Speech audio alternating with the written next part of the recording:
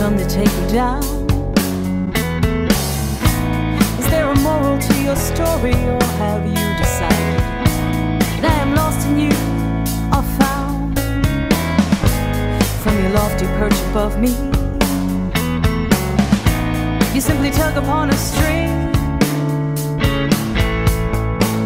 I go down.